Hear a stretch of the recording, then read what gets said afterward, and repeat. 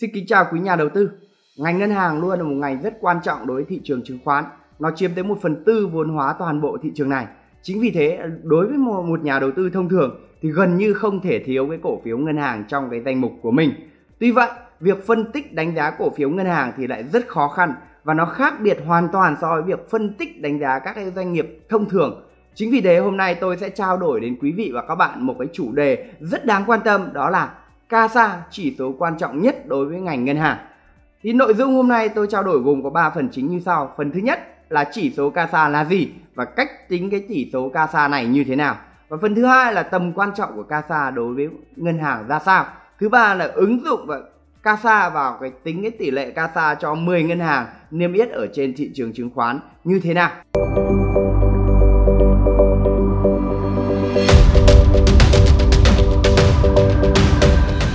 Sau đây chúng ta sẽ vào phần đầu tiên đó là chỉ số CASA là gì? Thì CASA là viết tắt của từ Current Account Savings Account, tức là được định nghĩa là tiền gửi không kỳ hạn tại ngân hàng. Đây chính là loại tiền gửi ngân hàng mà doanh nghiệp, khách hàng chủ động gửi, rút, thanh toán thường xuyên và nó hưởng một mức lãi suất không kỳ hạn với cái lợi suất rất thấp là từ 0,1% đến 0,5% một năm tùy từng ngân hàng. Nếu như chúng bình thường chúng ta gửi tiết kiệm 6 tháng một năm thì lợi suất của chúng ta có thể đạt từ 5% đến 7 đến 8% thì đối với lãi suất không kỳ hạn này nó chỉ là 0,1 đến 0,5% đối với mỗi ngân hàng mà thôi. Và cái lãi suất này thì người ta được tính hàng ngày. Tức là ví dụ như 0,5% chúng ta chia cho 360 ngày thì ra lãi suất mỗi ngày là được bao nhiêu. Tiếp theo, cách tính tỷ lệ CASA như thế nào? Thì tỷ lệ CASA được tính bằng huy động không kỳ hạn trên tổng nguồn vốn huy động. Thì ví dụ ở trên đây là tôi có lấy ra ở báo cáo tài chính hợp nhất của ngân hàng Vietcombank quý 3 2020 để tính tỷ lệ CASA như sau. Đầu tiên, à, đây là ở thuyết minh số 10 tức là tiền gửi và vay của các tổ chức tín dụng khác. Thì nó phân ra đây là tiền gửi không kỳ hạn bằng Việt Nam đồng là 7.625 tỷ đúng không ạ? Tiền gửi không kỳ hạn bằng ngoại tệ là 37.531 tỷ đúng không ạ? Trong tổng cái tiền gửi của à, các tổ chức tín dụng khác là 52.329 tỷ. Tương tự như vậy tiền gửi của khách hàng cái không kỳ hạn đấy ạ. Tiền gửi không kỳ hạn là 274.387 tỷ 476 triệu. Trên tổng số tiền gửi là 981.492 tỷ 077 triệu. Thì cái tiền ký quỹ này thì cũng có thể coi là tiền gửi gửi không kỳ hạn bởi vì nó cũng tương tự với cái bản chất của không khí hạn. Và bên này là phát hành giấy tờ có giá thì nó là đều có kỳ hạn cả đúng không ạ?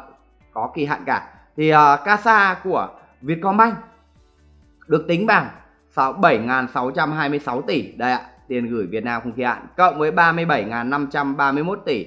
Đây không kỳ hạn và ngoại tệ.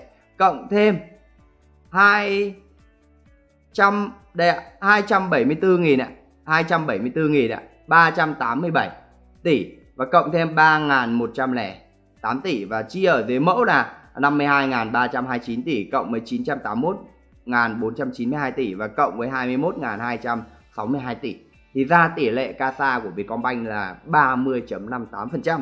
Thì cái công thức tính CASA này thực sự còn rất nhiều tranh cãi bởi vì với mỗi ngân hàng họ lại tính một cách khác nhau, với mỗi nhà đầu tư tính một cách khác nhau.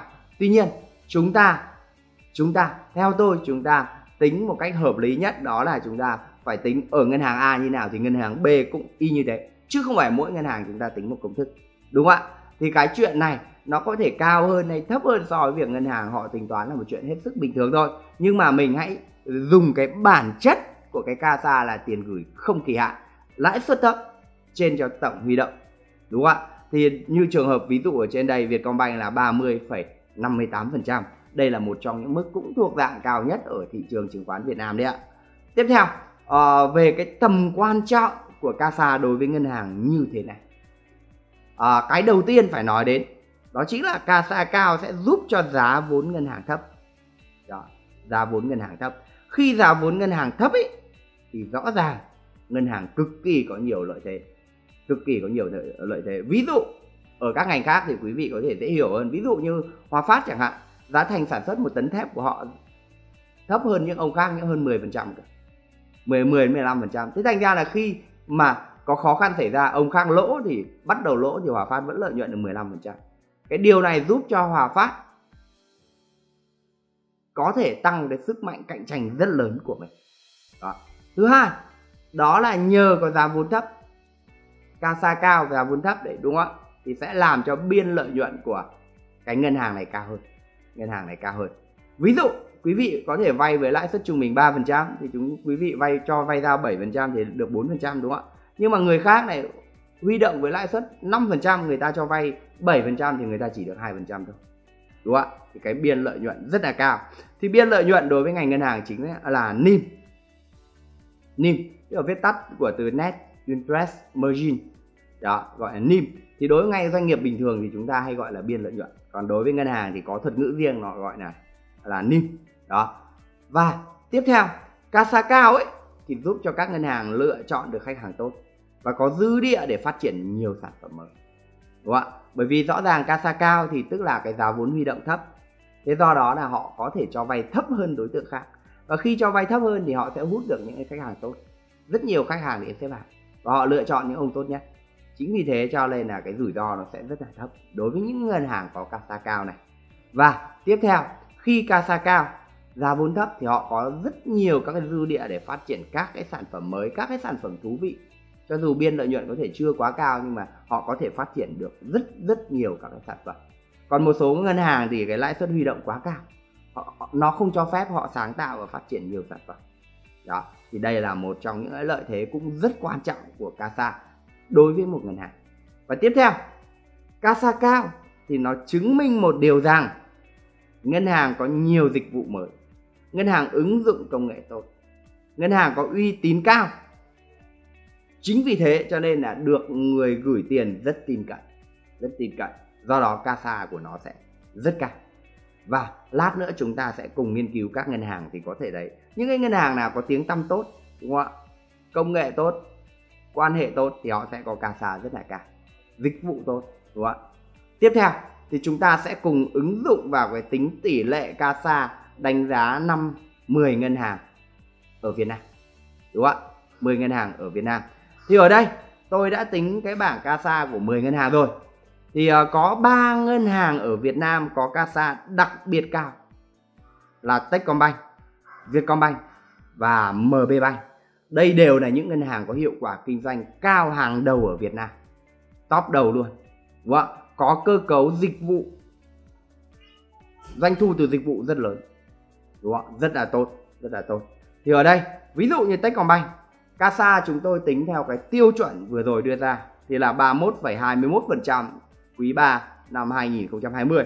Còn như ngân hàng họ tự tính thì họ tính ra là 38,6%. Tuy nhiên cái điều đó không quá quan trọng mà quan trọng chúng ta nếu tính ra chúng ta phải so sánh các cái thước đo nó phải giống nhau. À, thì lý do CASA cao của Techcombank đó chính là ngân hàng này rất là mạnh trong ứng dụng công nghệ và thanh toán họ miễn phí các cái chuyển tiền giao dịch thế thành ra những cái đội ngũ bán hàng online rồi rất là nhiều các bạn trẻ năng động có chuyển chuyển tiền nhiều để rất nhiều tiền không kỳ hạn này này để tiền đấy để thanh toán để tiền đấy để chạy quảng cáo đúng không ạ để tiền đấy để vì nó thuận tiện chẳng hạn đúng không? Thì đây là một ngân hàng thiên về cái lĩnh vực gọi là bán lẻ. Casa rất cao. Thứ hai là Vietcombank. Thì casa là 30.58% cao thứ hai. Thì à, đến chủ yếu từ ngoại tệ nhiều. Rồi từ các tập đoàn tổng công ty nhà nước. Như trước đây thì còn đến từ kho bạc nhà nước, đúng không ạ? Nhưng kho bạc nhà nước gần đây thì rút rồi. Rút rồi thì nhưng mà Vietcombank vẫn còn các cái tập đoàn nhà nước rồi còn ngoại tệ rất nhiều. Thế do đó tỷ lệ CASA của nó quý 3 này đã tăng trở lại khá là cao. Khá là cao và tiếp theo thứ ba đó là MBB có cái CASA là 29.85% thì uh, CASA chủ yếu đến từ các tập đoàn tổng công ty của quân đội nhà nước đúng không ạ? Ví dụ như Viettel này Tân Cảng Sài Gòn này Trực thăng Việt Nam này rất nhiều các cái tập đoàn và tổng công ty quân đội khác họ để ở đây họ để ở đây thì cái khác biệt giữa Vietcombank và MBB với Techcombank đó là Techcombank thiên về bán lẻ về khách hàng cá nhân. Thì nó mang tính bền vững hơn. Và chi phí thực sự nó rẻ hơn. Còn Vietcombank và MBB ấy, tuy CASA rất là cao này nhưng mà nó đến chủ yếu từ các tập đoàn. Thứ nhất là về độ chắc chắn thì nó không chắc chắn bằng. Thứ hai á, là về chi phí giá vốn thì nó có thể cao hơn thực tế ghi ở trong sổ. Đúng không? Và cái thằng CASA thứ tư trong cái 10 ngân hàng này và cũng là thứ tư Việt Nam ấy, đó chính là Vietinbank.